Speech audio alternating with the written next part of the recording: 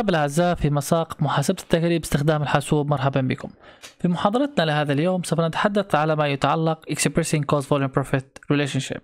نحكي عن العلاقة ما بين التكلفة والحجم والربحية بداية تطرقنا في المحاضرات السابقة فيما يتعلق باحتساب ال Contribution Margin والتغير وعندي Contribution Margin Percentage. لكن في هذه المحاضرة رح نتطرق لموضوع وهو ال cost volume profit relationship نحكي عن علاقه ما بين التكلفة والحجم والربحيه بداية في عندي ثلاث طرق رح نتطرق لها في هذه المحاضرة. الطريقة الأولى the equation method طريقة المعادلة. الطريقة الثانية the contribution margin method طريقة هامش المساهمة. والطريقة الثالثة the graph method أو يسمى طريقة الرسم البياني. طبعا كل طريقة من الطرق بتفيدنا وبتخدم في بعض الأحيان قرارات متعلقة بها. لكن راح نتطرق لها في محاضرتنا اليوم بالإضافة من خلال تطبيق على برنامج الإكسل أول طريقة هي equation method. وراح نلاحظ خلال شرحنا للمحاضرة أنه أغلب المواضيع تم التطرق لها في المحاضرة السابقة لكن للإعادة بشكل سريع. بداية عندي المعادلة الأولى لحتى أصل الدخل التشغيلي. بناء حتى فيما يتعلق بال cost volume profit analysis بتحليل التكلفة والحجم والربحية. عندي نقطة معينة إنه أنا لازم أقوم بإعداد قائمة دخل، لكن قائمة الدخل اللي بتحدث عنها هي تستند إلى Cost Volume Profit Analysis، وبالتالي هي عبارة عن Revenues minus ال Variable Cost minus Fixed Cost، وبالتالي بصل Operating Income. بغض النظر عن طريقة ال income statement ال traditional income statement أو ال cost volume profit income statement الاثنين راح يعطيني نفس النتيجة. لكن الاختلاف إنه عندي هون راح احصل نقطة معينة إنه لما أطرح ال revenue من ال variable cost راح احصل لشيء ما يسمى ال contribution margin وهو هامش المساهمة. بعد ذلك بطرح من ال fixed cost فبصل ال operating income بالاستناد الطريقة ال traditional العادية المتعارف عليها أو باستخدام ال equation method راح يعطينا نفس الدخل التشغيلي وهو ال operating income لكن السؤال إذا الاثنين بعطيني نفس النتيجة ليش بدي أستخدم طريقة the equation method وهي المعطى عندي؟ وبتحدث عنها هي cost volume profit income statement. راح نلاحظ إنه هاي العملية راح تساعدنا في اتخاذ بعض القرارات. على سبيل المثال فيما يتعلق باحتساب break even point نقطة التعادل بالإضافة لاحتساب لل target net income وأي أمور أخرى. لكن راح نتطرق إلى ال equation method وهي الطريقة الأولى وهي عبارة كالتالي. ال revenue minus variable cost minus fixed cost equal operating income. وبالتالي revenues how are revenues in each column calculated? كيف قمنا باحتساب ال revenue؟ حكينا ال revenues هي عبارة عن ال selling price مختصرها SP مضروبة quantity of units sold وهي Q. بمعنى إذا أنا قمت ببيع بضاعة راح أقول كالتالي سعر البيع للوحدة الواحدة بكمية أو عدد الوحدات المباعة من هذا المنتج وبالتالي بصل للإيرادات. بعد ذلك بطرح منها التكاليف المتغيرة والتكاليف المتغيرة هي عبارة عن ال variable cost والاحتسابة هي عبارة عن ال variable cost per unit ومختصرها U مضروبة في quantity of units sold وهي عدد الوحدات المباعة. وبالتالي بصل لل variable cost لكن في عندي طريقة أخرى. موضح لي هي ال equation number 1 وهي عبارة عن ال selling price مضروبة ل quantity of unit sold هي جزئية متحدث عنها هي ال revenue minus ال variable cost اذا هاي جزئية. ال variable cost per unit مضروبة في ال quantity of unit sold وهي ال variable cost اللي عندي في المعادلة. هاي الجزئية الأولى. بعد ذلك بطرح منها ال fixed cost فبصل ال operating income وهي ال equation number 1 اذا بنلاحظ إنه إيش؟ هي جدا بسيطة. واذا نستذكر البيانات بيجي بيقول لك the calculation of operating income when Emma sells five packages. إذا بنستذكر في المحاضرة السابقة تحدثنا عن إيما جونسون هي طالبة أو تم أكمل دراستها في الجامعة وقامت بتوقيع مع شركة أو دار نشر في عملية إنه بيع كتب. حكينا هي امتحان أو كتب في متعلق بامتحان ال GMAT وحكينا إنه هي عبارة بتشتري المنتج أو بتشتري ال package وهو عبارة عن ال hard copy of the book and ال software وبتقوم بعملية إعادة بيعهم. فبتقوم بشراء 120 دولار سعر التكلفة مع إمكانية إرجاع أي كتاب لم يتم بيعه أو ال package نحكي. فبالتالي بعطيني هون نقطة معينة. إذا قامت إيما ببيع خمس كتب وبالتالي راح نيجي على ال selling price حكينا إنه السعر البيع للوحدة الواحده هو عبارة عن 200 إذا 200 مضروبة في الوحدات المباعة. إذا 200 ضرب 5 ناقص ال variable cost ال variable cost لل per unit كانت عندي 120 مضروبة في عدد الوحدات المباعه ناقص تكاليف استئجار الكشك داخل حرم الجامعة واللي كانت عندي 2000 وبالتالي راح نصل 200 ضرب 5 بعطيني 1000 120 ضرب 5 بعطيني 600 ناقص ال fixed cost ال 2000 وبالتالي راح نلاحظ إنه في أنا حققت خسارة بقيمة 1600 دولار. اذا هاي الجزئية الأولى. الطريقة الثانية بسموها ال contribution margin method طريقة هامش المساهمة. فهذا بنلاحظ هي rearranging equation number 1 هي بس عملية إعادة ترتيب وراح نلاقي ان هي جدا بسيطة وجدا سهلة. بشكل عام هي عبارة عن ال selling price ناقص ال variable cost per unit مضروبة في ال quantity of unit sold وإذا بنلاحظ حكينا إن ال selling price minus ال variable cost بصل ال contribution margin per unit اختصرناها contribution margin ب CM حكيناها لل per unit. مضروبة إيش؟ في ال quantity of sold بمعنى إذا بدي أجي أطبق المعادلة رح نجيها الآن هي عبارة عن سعر البيع للكتاب أو ال package 200 دولار ناقص ال variable cost هي 120 فبصل ل 80 دولار وهو ال contribution margin per unit مضروبة في ال quantity of unit sold في عدد الوحدات المباعة وإذا افترضنا إني قمت ببيع خمس كتب راح أقول 80 ضرب 5 بعدين ذلك بطرح من ال fixed cost وراح نلاحظ عندي ال operating income بيطلع عندي. وبالتالي اختصرها بالمعادلة هي عبارة عن contribution margin per unit مضروبة في ال quantity of units sold minus ال fixed cost وبصل ال operating income. وبالتالي راح نقوم بتطبيقها على المعادلة. وهي عبارة ال operating income تساوي 80 هي عبارة عن ال selling price minus ال variable cost وسميناها ال contribution margin per unit 200 ناقص 120 فبصل ل 80 مضروبة في الكميات المباعة. وهي خمسة ناقص ال fixed cost وراح نلاحظ أعطينا نفس النتيجة.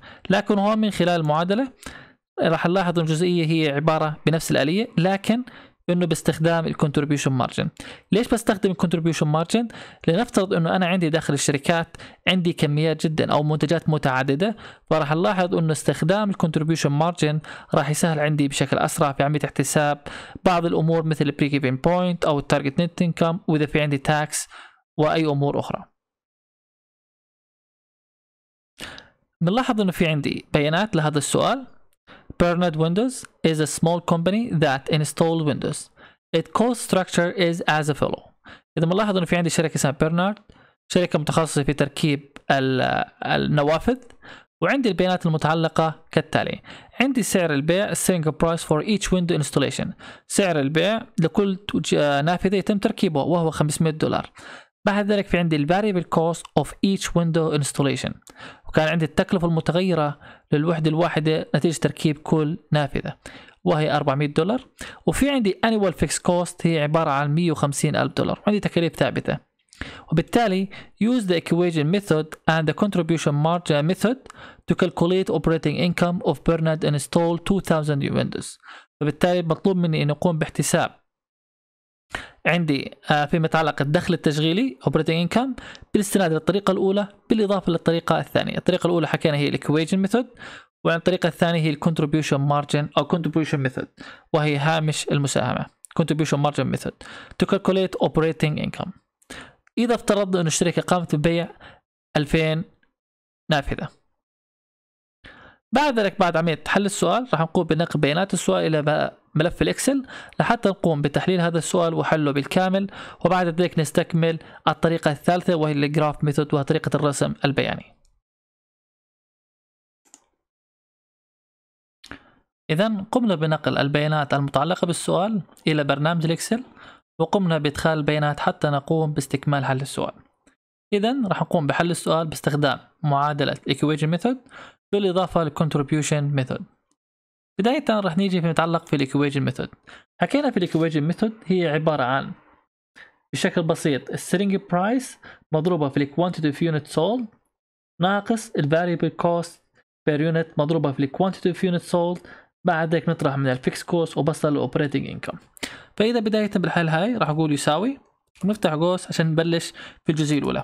لكن راح أفتح إيش؟ عبارة عن قوسين إذا بنستذكر في بيانات السؤال. إذا راح نقول كالتالي هي عبارة عن ال selling price مضروبة في عدد الوحدات المباعة وهي ال quantity اللي كانت معطاة عندي في السؤال وبالتالي راح أقوم بإدخال 2000 وبقدر أقوم بكتابتها على ملف الإكسل بالطريقة التالية.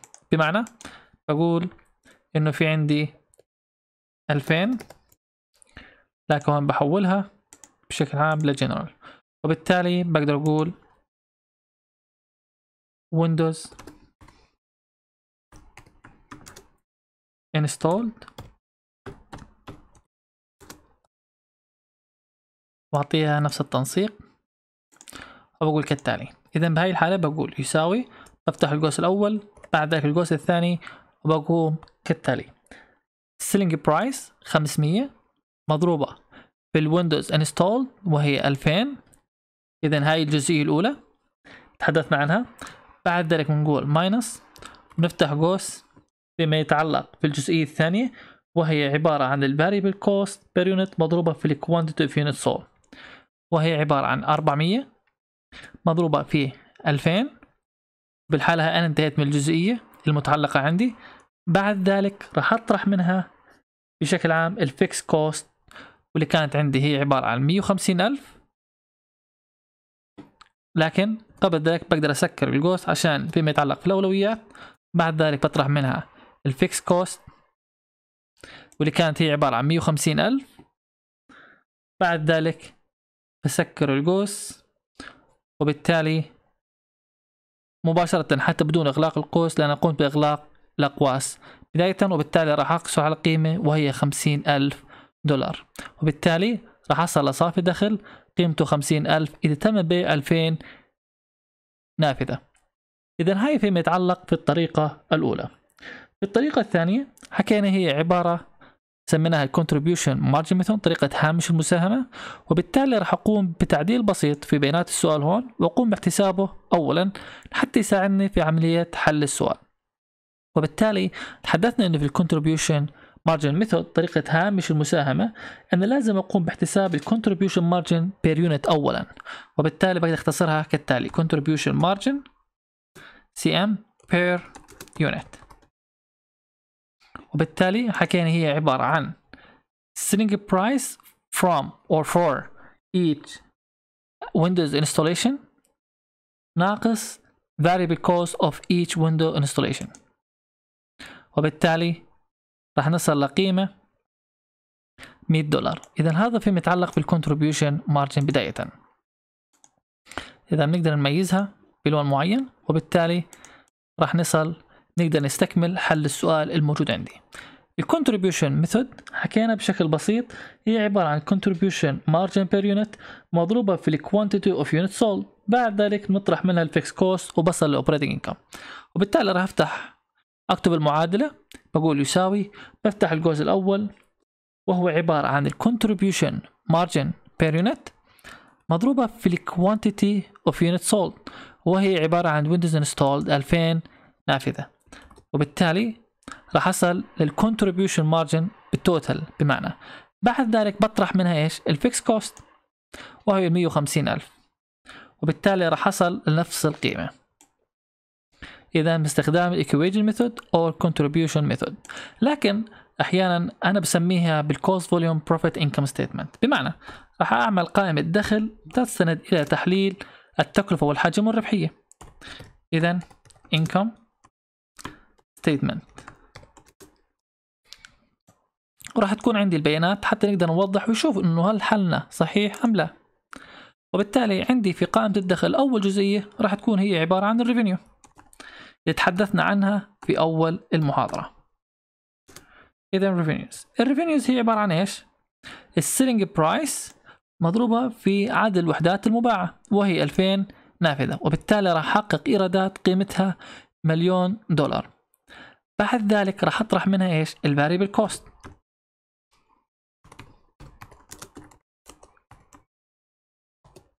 وحكينا ال variable cost هي عبارة عن ال variable cost of each Windows installation.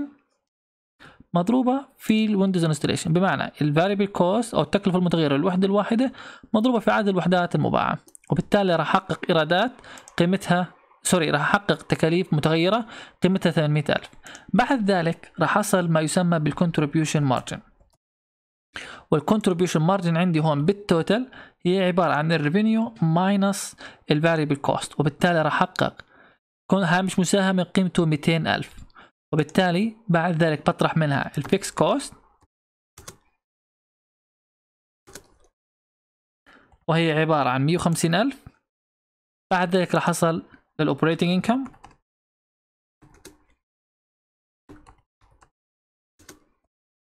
وهي بشكل بسيط هي عبارة عن ال contribution margin minus ال fixed cost وراح أصل لنفس النتيجة. لكن راح يتم استخدام هاي المعادلات بشكل سريع. لكن هون حبيت أوضح قائمة الدخل تستند على تحليل التكلفة والحجم والربحية وحتى أقدر أوضح بشكل بسيط ما يسمى عندي بال contribution margin بال total هذا فيما يتعلق ببيانات السؤال. إذا بالعودة إلى المادة التعليمية إذا تم تطرق لبيانات السؤال اللي كان موجود عندي. وراح نلاحظ الآن راح نتحدث عن ال graph method طريقة الرسم البياني. بشكل سريع ما راح أتطرق لهاي المواضيع بشكل عام راح أتطرق من خلال الشكل اللي ظهر عندي. إذا من خلال الرسم البياني هو عندي cost volume graph for GMAT Success هو بنحكي عن الكتاب أو ال package اللي بتقدمه دار النشر وراح تقوموا راح تقوم ايما جونسون ببيع هذا الكتاب. بداية راح نلاحظ إنه في عندي unit sold وحدات مباعة وفي عندي إيش؟ الإيرادات نقدر نحكي عنها وهي بال dollars عندي 2000 4000 5000 6000 8000 10000 عندي المحور X وعندي المحور Y بداية إذا أنا قمت ببيع على سبيل المثال عندي بعشر وحدات مباعة وبالتالي راح نشوف إنه في عندي جزئية معينة. بمعنى أنه هون عندي العشر وحدات راح أقوم ببيعهن راح تحتوي على إيش؟ على جزئية من التكاليف. عندي فيكس وبالإضافة لل variable وبالتالي إذا بنلاحظ عندي هون نقطة معينة من خلال ال graphs إذا بقوم بعملية رسم البيانات بمعنى إذا افترضت نقوم ببيع على سبيل المثال 10 كتب وبالتالي راح تكبد 2000 بالإضافة راح تكبد التكاليف المتغيرة وهي عبارة عن 120 دولار لكل كتاب وبالتالي راح يكون عندي 3200 دولار. 3200 هي عبارة عن ال fixed cost ال 2000 هي تكاليف لا يمكن تجنبها بالإضافة عبارة عن ال variable cost نتيجة بيع 10 كتب. وبالتالي راح نلاقي إنه في عندي هون بالفقرة هاي هي متعلقة بها. إذا نلاحظ عندي مبدئيا الخط الأول اللي هون. عند A. راح نلاقي إنه A هي عبارة عن ال fixed cost. هي التكاليف الثابتة. وبالتالي لا يمكن تجنبها. وبالتالي راح تكبد هاي التكاليف بشكل مستمر. بعد ذلك راح تزال عندي تكاليف. عندي هون الخط. عندي بوضح لي ال break even point نقطة التعادل بمعنى إن إذا أنا قمت ببيع 25 كتاب أو package من الموجودات عندي بالتالي راح أحقق نقطة تعادل. أي بمعنى لا بكون لا ربحان ولا خسران. وبالتالي إذا قمنا باحتساب النقطة الأساسية وهي إذا قمت ببيع 25 كتاب شو راح تكبد التكاليف؟ راح أقول هي عبارة عن 25 كتاب مضروبة في 120 دولار وراح يكون عندي 3000 دولار هي عبارة عن variable cost plus 2000 دولار. وهي ال fixed cost وبالتالي راح نلاقي إنه في عندي 5000 راح تكبد تكاليف وبالتالي عند هاي النقطة أنا بكون غطيت جميع الإيرادات بكون مغطيها بغطي جميع تكاليفي بالكامل. هذا فيما يتعلق بها. هذا الخط اللي بوضح لي هون هو عبارة عن total cost line وإذا بنلاحظ إنه عندي هذا الخط إجمالي التكاليف بوضح لي إنه ما بلش من عند النقطة C لكن هو بلش من النقطة A. بمعنى أن التكلفة ما بدأت عندي من صفر. على العكس هي بدأت من 2000 أي بمعنى أنا راح اتكبد تكاليف 2000 دولار تكاليف ثابتة لكن الزيادة راح عندي هي عبارة عن بالإضافة تكاليف ثابتة بالإضافة لتكاليف متغيرة. لكن التكلفة الثابته راح تظلها ثابتة وما راح تزداد عندي. وإذا بنلاحظ هون عندي ال operating income عند هاي النقطة. لكن هون النقطة راح أحقق خسارة. بشكل عام وهاي المنطقة راح أصير أحقق بعد ذلك إيش؟ الربح. وهاي الملاحظات بشكل كامل راح تلاقيها موضحة في كل نقطة على حدة لكن عملية الرسم البياني هي عملية أحيانا تحتاج وقت بالإضافة لاستخدام البرامج لحتى تقوم بتمثيلها بيانيا. فنقدر نفترض إنه في عندي نقطة معينة بال cost volume profit assumptions إنه في عندي افتراضات لما أقوم بعملية التكلفة فيما يتعلق بتحليل التكلفة والحجم والربحية وبالتالي يجب أخذ هذه العناصر بعين الاعتبار أثناء شرحنا لهذا الفصل بقول لك now that you know how cost volume profit analysis work صرنا نعرف كيف ال cost volume profit بيشتغل معنا بنقدر التحليل المتعلق به نقدر نعرف آلياته أوجه عمله لكن بقول لك think about the following assumption we made during the analysis بقول لك بدك تأخذ بعين الاعتبار فكر في المواضيع المتعلقة أو بالافتراضات اللي راح متعلقه في إيش؟ في التحليل. اولا change in revenue and cost of price only because of change of the number of products or service units sold the number of units sold is the only revenue driver and the only cost driver إذا هاي النقطة معينة وحبيت وحكيت عنها بشكل مفصل في محاضراتنا السابقة وحكينا أنه العلاقة ما بين الإيرادات والتكاليف المتغيرة هي علاقة مباشرة حكينا عنها هي straight line relationship علاقة ثابتة ما تغير عندي علاقة خطية. بمعنى إذا زادت عندي المبيعات راح تزداد معي التكاليف المتغيرة والعكس صحيح. وبالتالي محرك التكلفة فيما يتعلق في الإيرادات ومتعلق في ال variable cost هو عدد الوحدات المباعة. وبالتالي راح يتم تجاهل بالكامل اللي حكينا هي الأساس أو الافتراض إنه التكاليف هي عبارة عن curve linear في الواقع العملي. لأن ال cost profit ما بزبط معي ان أقوم يكون في عند علاقة غير خطية لحتى أقدر أقوم بالتحليل. وبالتالي راح أفترض إنه هناك علاقة خطية بالكامل. النقطة الثانية total cost can be separated into two components. من إجمالي التكاليف يجب إيش؟ تكون مفصولة إلى جزئيتين. الجزئية هي عبارة عن fixed components التكاليف أو الأجزاء الثابتة that does not vary with the unit sold. وبالتالي هي ليست نقدر نقول عنها ليست واسعة مع عدد الوحدات المباعة وبالتالي راح تظلها ثابتة قدر الإمكان. النقطة الثانية الجزئية الثانية هي ال variable component وهي التكاليف المتغيرة that change based on unit sold وبالتالي هي تتغير بالاستناد إلى عدد الوحدات المباعة. When represented graphically, the behavior of total revenue and total cost are linear, meaning they can be represented as straight line in relation to units sold within a real a relevant range. وبالتالي حكينا أن العلاقة هي علاقة خطية وبالتالي تم تمثيلها بالرسم البياني وعندي النقطة الرابعة string price variable cost per unit and total fixed cost within relevant range and time period are known and constant. وبالتالي رح نحكي عن سعر البيع والتكلفة المتغيرة الوحدة الواحدة وإجمالي التكاليف راح تظلها ثابتة ضمن مدى معين. بافتراض يعني إنه ما في راح يصير أي تأثير عندي على هاي التكاليف أو سعر البيع راح تظلها ثابتة ضمن المدى الملائم تحدثنا عنه في المحاضرة السابقة.